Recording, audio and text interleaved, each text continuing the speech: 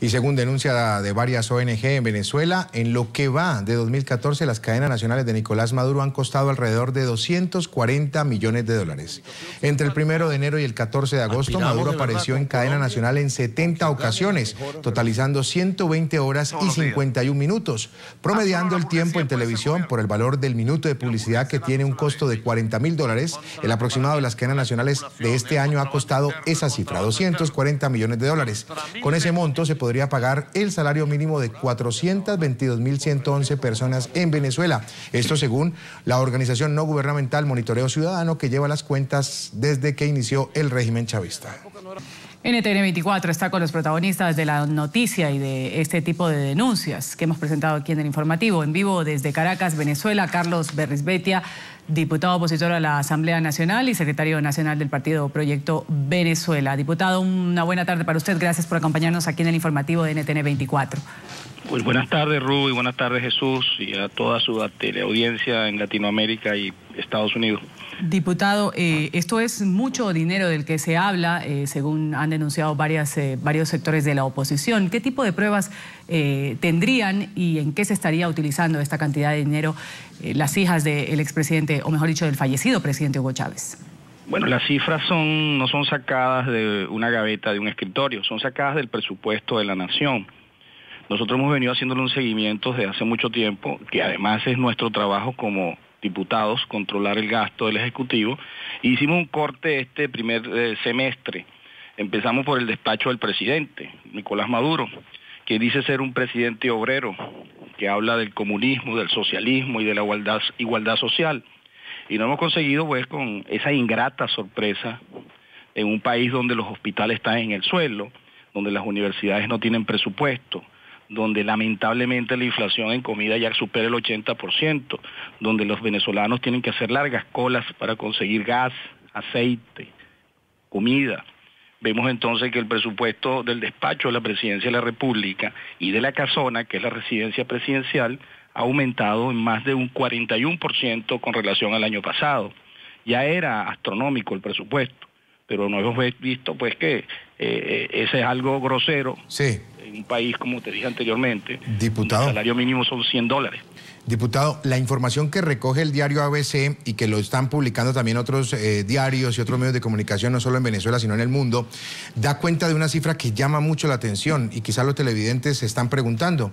2.6 millones de euros diarios. ¿Cómo sale esta cifra? Déjame explicarte, eh, eso, eh, esa astronómica cifra, porque en Venezuela hay un control de cambio y el control de cambio tiene varias eh, clasificaciones y ahí eh, el menor es eh, a 6.30, es decir, 6.30 bolívares por dólar.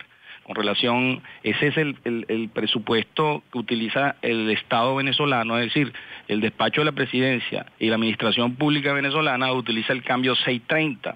Entonces, cuando tú divides eh, y sumas todos los gastos de seguridad, de viáticos y pasajes, relaciones sociales, eh, gastos telefónicos, alimentos, bebida, eh, agencias de festejos, prendas de vestir, todo, compra de vehículos, utilización de, horas de, de aviones del Estado, bueno, da esa astronómica cifra, ¿no? En la partida más alta que tienes es la partida de seguridad, la partida de seguridad para las eh, familiares del fallecido Chávez y Nicolás Maduro superan eh, más de eh, cinco mil hombres en todo lo que relaciona los turnos de guardias de su seguridad y la casa militar. Entonces, al dividir eso todo por 6.30, sale esa astronómica cifra, que es esa, está ahí en los presupuestos. Pero ¿en, qué, a más de eso? Porque está bien las razones que usted nos da aquí en esta segunda respuesta que nos ha proporcionado, diputado, pero, pero el, diario ABC incluso dice que esta es una cifra mucho más alta que la, que utiliza la reina Isabel. ¿En qué más se puede utilizar este, tantos millones de euros?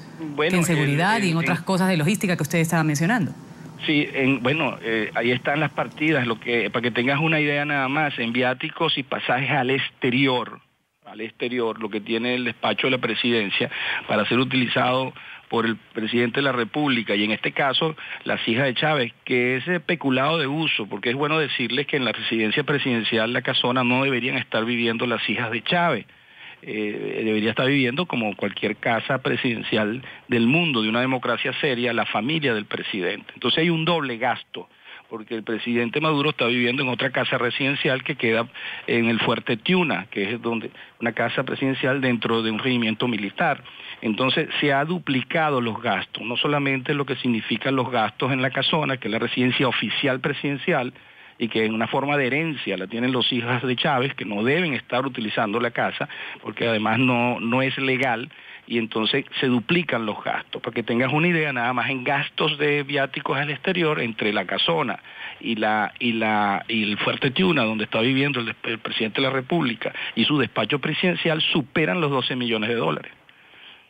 Ahora, diputado, con respecto a la otra información que se ha conocido también el día de hoy y que tiene que ver con las cadenas nacionales de Nicolás Maduro, la información publicada por algunas ONGs en Venezuela dan cuenta de que en lo que va del 2014 se ha gastado 240 millones de dólares. ¿Qué opinión le merece? Bueno, esto es una grosería. El pueblo venezolano está pasando una gravísima crisis económica. Como te dije anteriormente, el salario mínimo son 100 dólares mensuales. Es decir, una jornada diaria de trabajo que puede superar 7 horas diarias no le da a un trabajador venezolano para comprar ni siquiera un kilo de carne.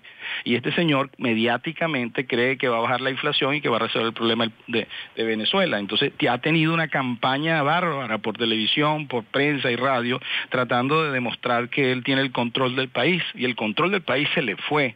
No hay ninguna variable que esté controlada el país, ni la, variable de, seguridad, ni de inflación, ni, ni el, ni el PIB del, del país. Es decir, y además de eso, ¿no? Eh, el, gasto eh, eh, se refleja en todas las dependencias del Estado, porque cuando un presidente está pasando una crisis, su país lo primero que hace es, ajustarse el cinturón. Y vemos con esto lo que están pasando es que las otras dependencias, los otros ministerios que ya estamos haciendo el trabajo, tienen el mismo gasto. En la, en la partida de gasto de relaciones sociales, que es como decirlo, la caja chica que tiene el señor Maduro, bueno, tiene 12 millones 600 mil bolívares.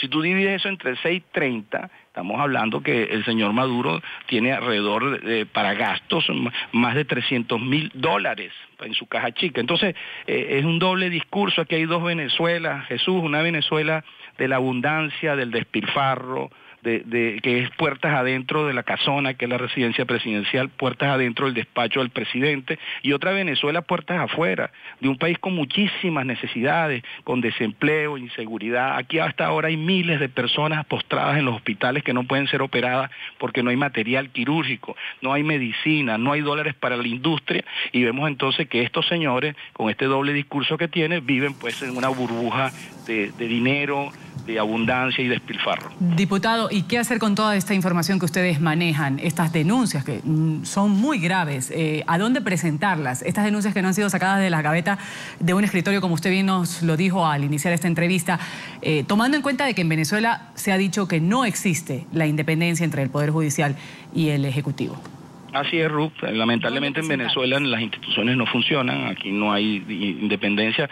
Eh, hacemos estas denuncias, las consignamos en los organismos competentes, pero no hay. Aquí no se investiga absolutamente nada. Hay que decirle, con mucha responsabilidad lo digo a todos tus oyentes, que en Venezuela no hay democracia. Una democracia donde los poderes no sean independientes y todos estén bajo el mando, de, en este caso, de un régimen que tiene Nicolás Maduro, no existe la posibilidad de que haya control del gasto público previo y posterior. Pero bueno, lo decimos porque eh, tenemos que hacer la denuncia y aquí hay también un gran costo moral, porque además quieren aumentar la gasolina en Venezuela eh, y, el, gobierno no tiene ningún tipo de moral para seguir exigiéndole y van a aumentar los impuestos a los venezolanos bajo una gravísima crisis económica de un modelo comunista fracasado, pero donde los altas jerarcas del gobierno, las hijas del fallecido Chávez, Nicolás Maduro y su familia, viven de verdad como unos verdaderos oligarcas, palabra por cierto que utilizan ellos. Bien, le agradecemos a Carlos Berrisbeitia, diputado opositor a la Asamblea Nacional y secretario nacional del Partido Proyecto Venezuela, por habernos acompañado en el informativo de NTN 24. Una buena tarde para usted en Caracas. Muchas gracias por su tiempo. Gracias, Jesús. Buenas tardes, Ruth.